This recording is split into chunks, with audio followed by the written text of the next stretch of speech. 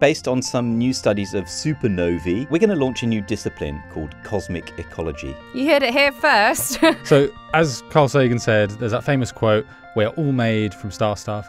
And that's the idea basically that all the heavy elements that we need for life, for Earth, the solar system, originated both in stars and when they exploded in these supernova, kind of spreading the elements across the universe and, and, and galaxy. But there's there's some quirks to that which we don't actually know how those elements really get into the solar system and, and planetary systems. Placing a supernova really close to a still forming star system can blow away all the matter and kind of upset that delicate balance. Then if you move it really far away, you don't get the exact kind of ratio of elements that we see from our early early solar system. So there was this really interesting study that came out. They found that if you didn't have it so close, you moved it a little bit further away, then there was this really interesting two-step process where some of the elements we made in the initial supernova explosion and then after that there would be followed these cosmic rays which would interact with the matter that was already in the solar system and produce the rest of them. And, and they found that this model really accurately predicted the kind of signatures we see from those early meteorite samples. If supernova can influence planetary formation like that from further away,